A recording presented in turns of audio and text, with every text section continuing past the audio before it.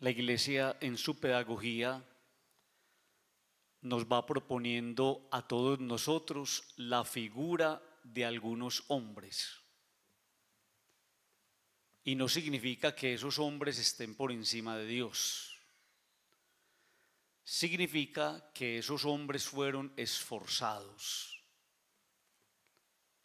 Esforzados por ajustarse a Dios y por pasar por la vida no a la manera del mundo, sino pasar por la vida a la manera de Dios. Y esos hombres de los que les estoy hablando, la iglesia los llama santos. Y la iglesia los tiene organizados. Y están guardados sus nombres en unos libros. Pero lo más bonito es que la mayoría de los santos no están en esos libros y pasaron muchos de ellos de una manera clandestina por el mundo. Es el llamado entonces del Señor a la santidad, a que nos parezcamos a Él. Y hoy la iglesia nos propone la figura de un santo muy especial. Algunos de nosotros hemos tenido la dicha, por gracia de Dios, de haber estado en el lugar donde él vivió su martirio. Y les hablo del padre San Maximiliano María Kolbe, un sacerdote polaco de una comunidad llamada los franciscanos conventuales. A este santo le va a tocar vivir una experiencia muy difícil. Cuando estando en el campo de concentración de Auschwitz, separan a un grupo de personas los nazis para asesinarlos, para llevarlos a las cámaras de gas o para condenarlos a una muerte muy triste. Cuando llaman al grupo de los que van a ser asesinados, entre ellos hay un hombre que empieza a llorar desesperado y empieza a gritar, yo tengo esposa, yo tengo hijos, por favor no me maten. Y en ese momento el padre Maximiliano María Colbe dice, háganme un favor, no lo maten a él mátenme a mí. Y entonces es capaz de ofrecerse como víctima por ese padre de familia. Lo van a condenar entonces a que muera de hambre. Lo encierran en una celda cuando uno va allá a Auschwitz. Visita la celda de Maximiliano María Colbe y va a encontrar un cuarto siempre con una luz prendida. Y un detalle precioso, siempre hay flores. Lo condenan entonces a morir de hambre y de sed.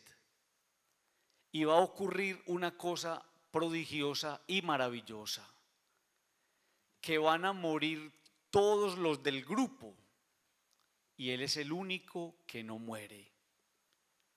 Cuando los nazis ven que él no muere, entonces le van a inyectar veneno. Así la iglesia nos propone la figura de un hombre que fue capaz de entregar la vida por alguien que no conocía. Y es ahí, mis queridos amigos, donde viene la reflexión que les quiero proponer. Un santo, un hombre común y corriente que fue capaz de hacerse sensible frente a alguien a quien no conocía. Y viene una pregunta.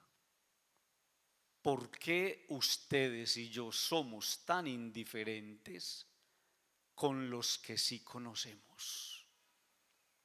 ¿Por qué somos tan duros con las personas que Dios nos ha puesto al lado y que en el egoísmo y en la soberbia de la vida literalmente o vocalmente hemos dicho, yo daría la vida por vos, pero en el fondo no seríamos capaces de entregar la vida, porque nos inunda el egoísmo, la avaricia, la ambición y porque muchas veces pasamos por la vida solamente pensando en nosotros mismos.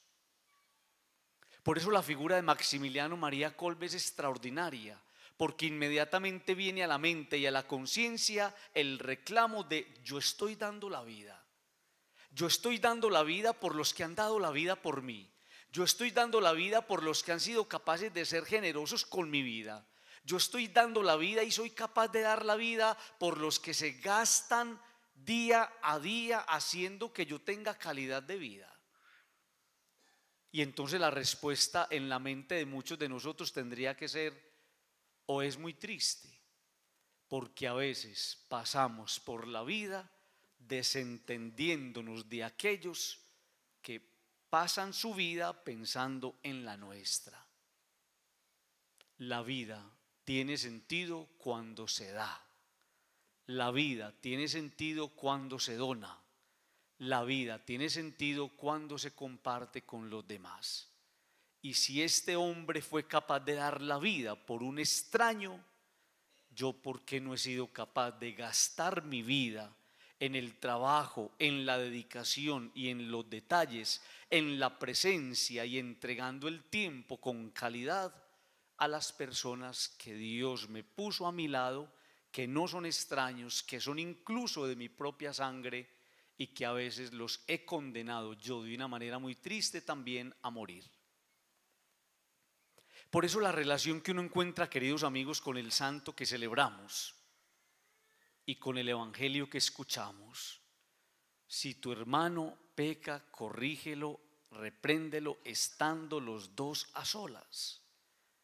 Y entonces nos empieza a proponer el Señor un proceso muy lindo el que hay al otro lado no es un mueble, el que hay al otro lado no es un nochero, el que está al otro lado no es una nevera ni un escaparate, el que está al otro lado frente a ti es una persona.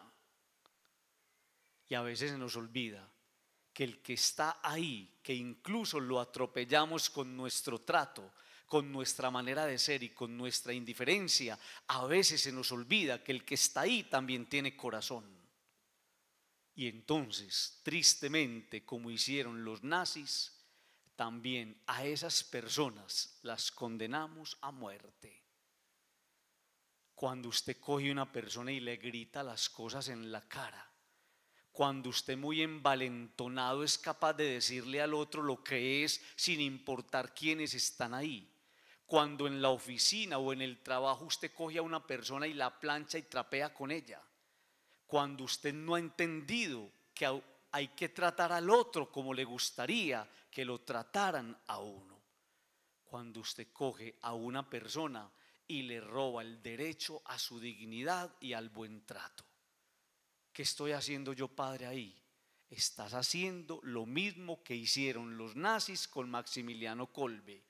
Lo metieron en una prisión y le robaron el derecho a tener una vida digna. ¿A cuántas personas ustedes y yo en la casa, en el matrimonio, en el noviazgo, con los hijos, en el trabajo, en el edificio? ¿A cuántas personas nosotros les quitamos la vida cuando sencillamente creemos que diciéndoles la verdad en la cara y delante de la gente, sin caridad, estamos obrando bien? Que nos ayude el Señor y nos conceda a todos nosotros la gracia de aprender a cuidar la vida del otro en los pequeños detalles. Si alguien se equivoca, trátalo como a usted gustaría que te trataran. Llámalo a solas, decirle las cosas con amor. Si esa persona no hace caso, empieza un proceso de caridad con esa persona y deja que Dios te vaya poniendo en el corazón de qué manera poder salvar a esa persona antes que condenarla. Digan conmigo, amén.